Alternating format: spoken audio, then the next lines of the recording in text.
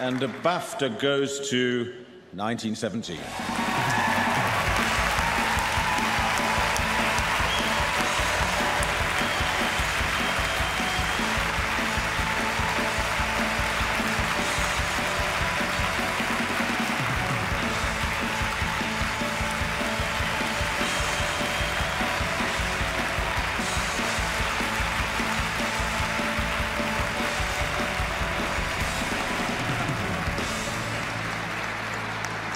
Thank you, BAFTA, for giving us a really wonderful night. Thank you very, very much. And thank you for all the people who've gone to see this movie in the cinemas. It's still on. Um, thank you the, to the crew up there in the gods. Thank you.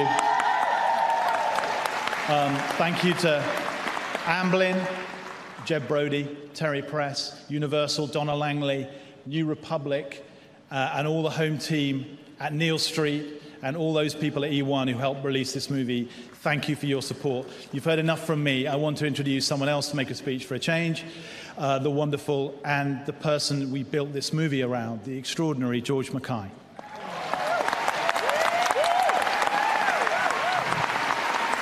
Thank you. Uh, thank you very much, and thank you, Sam.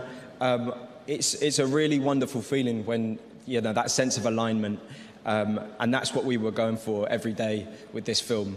There was never a lead element in terms of any department or anything other than the story and the shot that we were trying to get. So uh, we'd like to share this with every single member of the crew and the team who gave their time and themselves to the project. And, uh, and the whole process and the film itself is, uh, is a lesson in, in the goodness that can come in, in going for something that's bigger than yourself. So working together within that. So thank you very much. Cheers.